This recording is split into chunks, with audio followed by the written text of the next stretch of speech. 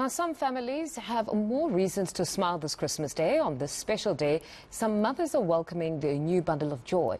Deputy Minister of Home Affairs Njabulo Nzuza is handing over birth certificates to mothers of these Christmas miracles. He joins me now on the line from KwaZulu-Natal, Eshowe.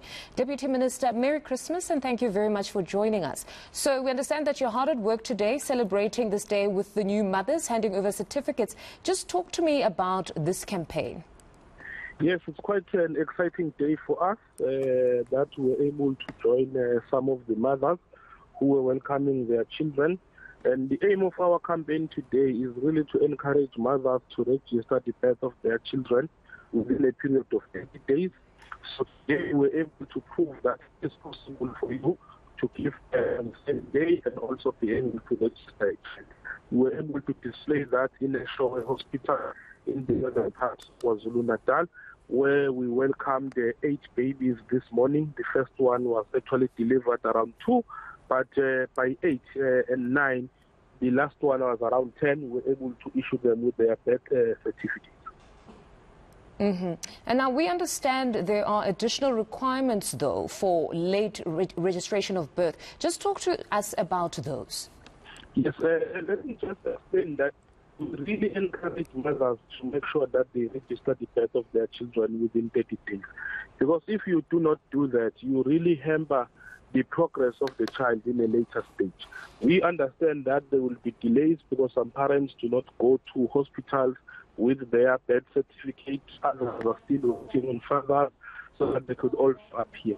So what that then after 30 days, the internal control mechanisms that to kick in. Those internal, internal control mechanisms as a result of the fraud that we had uh, experienced previously, where a number of foreign, uh, children will be registered as if they are South African children. So as such, we then need proof of birth, which is something that parents will find they have not checked for themselves. And we need additional information. If it remains long, we then have to even look for proof that uh, the child is actually your child and so on. Mm-hmm. So it becomes a bit stringent, particularly when a child has grown so old that they've now been going to school. We need school records, we need confirmation from traditional leaders in the form of letters or local leaders to say that they know the child. All those control mechanisms, they kick in because of the fraud that we have experienced in the registration of children. Whereas if the child is registered within 30 days, the records are still fresh to ascertain the birth quite easily. Mm-hmm. No, pardon me, Deputy Minister, the line is very bad. So if our conversation is a bit out of kilter, uh, please do just indulge me. But hopefully they can hear, it, hear you at home. To the more controver- controversial one of the registering of children born within wedlock uh, and those outside. We know that the ConCourt declared Section 10 of the Births and Deaths Act unconstitutional, essentially saying that unmarried fathers should not be denied the right to register the birth of their children in their surname without the consent of the mother. Can you just share which stage of the process you are at? Is Parliament ready to amend? Where are we, given that they've been given the 24 months of a suspension to prepare themselves?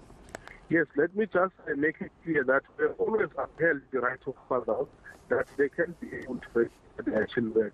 The issue is that when it comes to a father, of course, if you look at the birth record, the birth record will normally reflect the mother, that this is the mother of the child. And then you find that the father is not reflecting. So we will need proof to say that indeed this is the father of the child, which will be obtained through a DNA result. But now the court has said that we must reaffirm the right of fathers. So what we are doing now is to set up administrative process is for fathers to register the birth of their own children. So this is the stage in which we're in. We've been looking at the Birth and, and, and, and Marriages Act. If you'll remember that we're looking at the Marriages Act as an omnibus kind of a law, as well as the issue of registration of births. We are looking at reviewing the act so that we can accommodate some of those issues. All right. And then as for the remedy, we understand there's the interim remedy. Does this apply to everybody at this point?